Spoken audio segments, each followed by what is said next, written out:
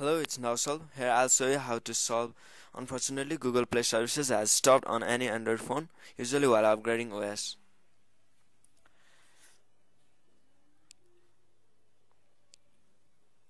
I just updated my Samsung S4 from 4.4 KitKat to 5.0 Lollipop. I got this problem. Let's solve it. Now go to Setting, Application Manager, then all. Okay now scroll all the way down to Google Play Services.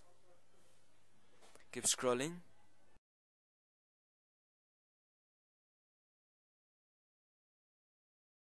Mm, Google Play Services. Hit turn off. Delete all the data and turn off apps okay? Uninstall update uninstall. Manage device administrator now Android device manager. Deactivate it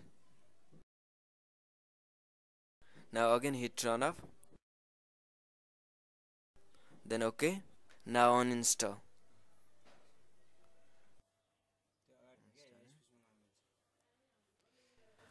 uninstalling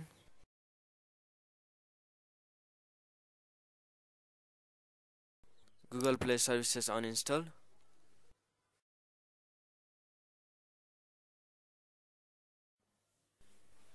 okay now reboot is recommended.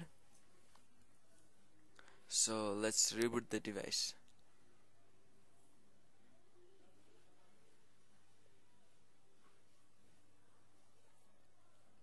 Okay now restart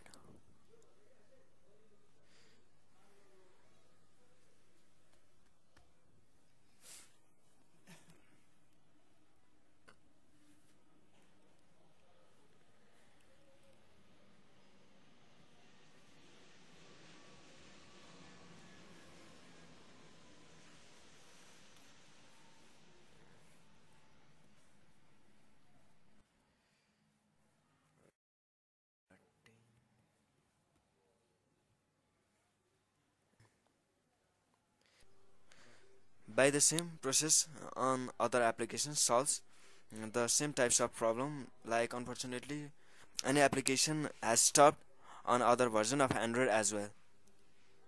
Okay now again go to setting. More. Application manager. Then turn off apps. Google Play services. Now enable it okay now it is in its factory version. So let's update it. Now go to play store. Hit update. Okay now it is downloading.